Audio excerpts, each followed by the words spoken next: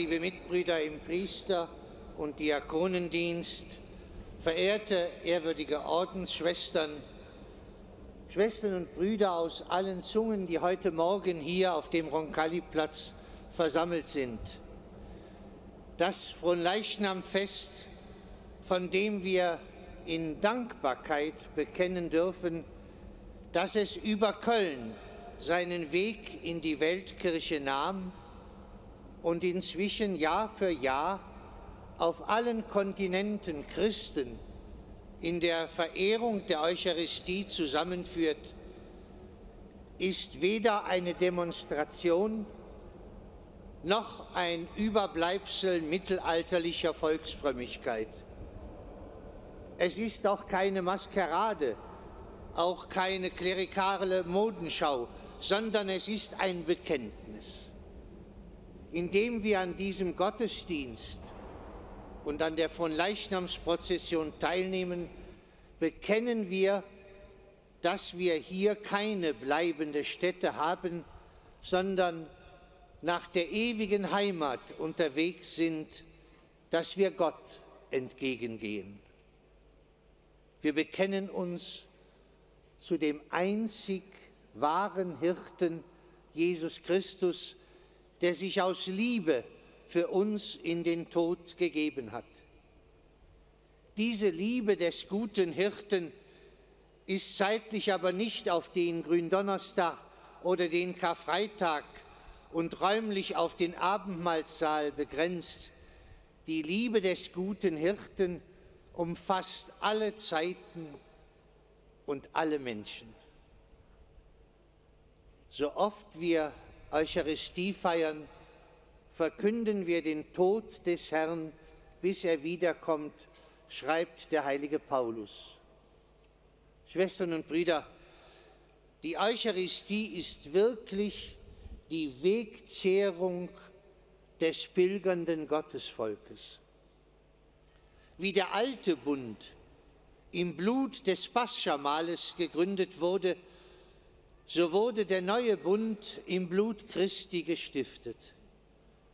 Deshalb ist die Eucharistie die Mitte der Gemeinschaft der Gläubigen, wie das Zweite Vatikanische Konzil es gesagt hat. Der Herr hat während seines öffentlichen Lebens oft mit den Jüngern Mahl gehalten. In der Gemeinschaft dieses Mahles kamen die Jünger ihrem Meister nahe. In der Gemeinschaft des gemeinsamen Essens erfuhren sie immer neu seine Liebe, seine Zuwendung. Einmal jedoch ragt unter allen anderen hervor das Christusmahl am Abend vor seinem Leiden.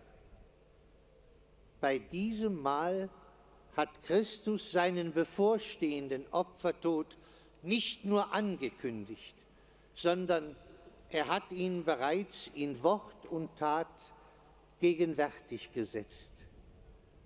Indem der Herr sich selbst zur Speise gibt, zeigt er uns seine Erlöserliebe, die sich für uns verzehrt, so wie die heilige Hostige sich gänzlich von uns verzehren lässt und so tatsächlich zu einer Speise wird, aus der wir leben. Darum bekennen wir uns am heutigen Tag in besonderer Weise und mit uns weltweit die Kirche zu Christus als dem einzigen Erlöser, dem alleinigen Mittler zwischen Gott und den Menschen. Er ist es, der alle Sakramente spendet. Am Altar feiern wir die Eucharistie, zu der alles Tun der Kirche hinstrebt und aus der die Kirche die Kraft zu jedem Dienst empfängt. Die Eucharistie ist deshalb auch Gemeinschaft mit allen, die an demselben Mahl teilnehmen. Und darum geht von der Eucharistie eine gemeinschaftsbildende Kraft aus. Wir gehören zusammen, auch wenn wir wie die Heilige Schrift sagt, von allen Straßen und Gassen gekommen sind, auch wenn wir mehr als uns lieb sein kann, den Armen und Krüppeln, den Lahmen und Blinden gleichen, wie es im Lukasevangelium heißt. Am Tisch des Herrn gibt es keinen Unterschied zwischen arm und reich, zwischen gelehrt und nicht gelehrt. Wir alle nehmen in dieser Stunde einander an. Jeden, der jetzt neben uns steht. Sei es ein Kind, sei es ein Greis, sei es ein Schüler oder sei es ein Professor, sei es ein Gesunder oder sei es ein Kranker.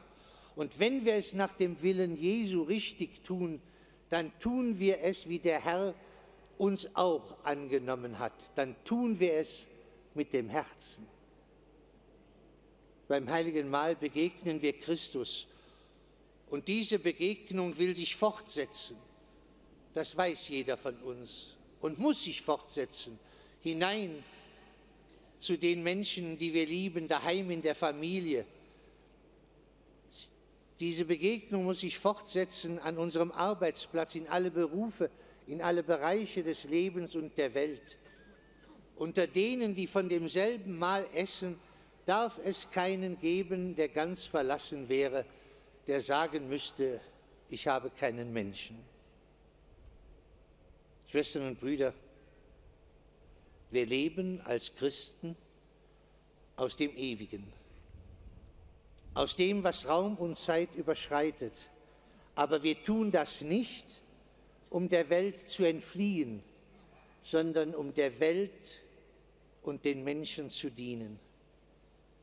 Wenn wir am Fronleichnamsfest durch unsere Straßen ziehen, bekennen wir uns zu diesem christlichen Dienst in der Welt.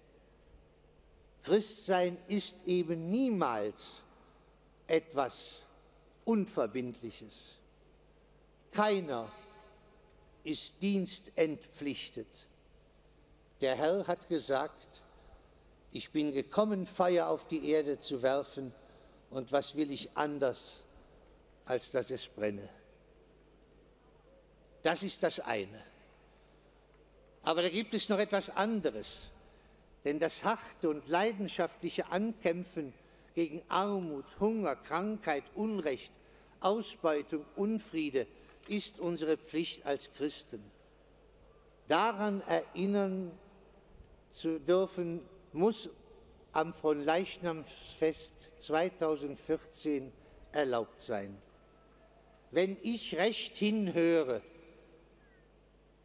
auf das, was mir Menschen sagen, was andere mir schreiben, dann ist es in diesem Jahr eines, was allem anderen vorausgeht. Dann lese ich, es sei in unseren Tagen, als ob die Welt in Brand geraten sei. Alles sei aus den Fugen geraten im Für und Wider der Streitfragen. Es sei sogar bei Recht und Unrecht gar nicht mehr fair im Wettstreit, sondern alles diene nur der Erniedrigung des Gegners und der gegenseitigen Verteufelung. Gier und Lüge zerstörten, was man früher einmal Gemeinsinn, Neudeutsch Common Sense nennt. Und die Menschen sprechen dann auch mit Tränen in den Augen manchmal von dem religiös verbrämten Terror, der wie eine Geißel um diese Welt zieht. Sie sprechen aber auch davon, dass aus tiefstem Hass genährt eine Instrumentalisierung von Ängsten in unseren Tagen geschieht, die in uns das Gebot Christi tötet den anderen wirklich mit dem Herzen annehmen zu können, ihm wirklich Ja zu sagen. Gut, dass du gerettet bist. Auch gut, dass du hier bist, auch wenn es nicht einfach wird. Das Gebot Christi, dass wir den Nächsten lieben sollen, ist mehr als sieh zu, dass der andere gerade reinkommen darf. Schwestern und Brüder, gerade dann aber, wenn die Dinge so empfunden werden, dann wäre ein voreiliges Resignieren keine fromme Ergebung in die Zulassungen Gottes, sondern Schwäche und Verweigerung des Zeugnisses für Christus. Und so weist uns das Fronleichnamsfest 2014 vielleicht stärker noch als in manchem früheren Jahr auf die beiden Grundordnungen hin, in denen sich unser menschliches Leben vollzieht. Die Richtung nach oben zu Christus, dem wir heute unseren Dank öffentlich bekunden, und die Richtung zum Nächsten, zum mitmenschlichen Du und zu den irdischen Ordnungen und Wirklichkeiten, in denen sich unser Glaube bewähren muss.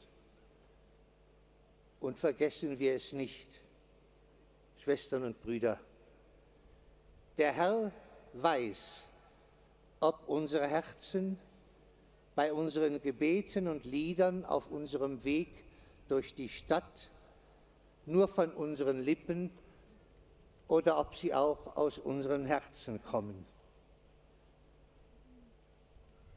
2014 kann man es mal so sagen. Wir stehen unter Beobachtung. Aber Gott sei Dank, der, der uns hört und der uns sieht, der liebt uns bis zum Tode. Amen.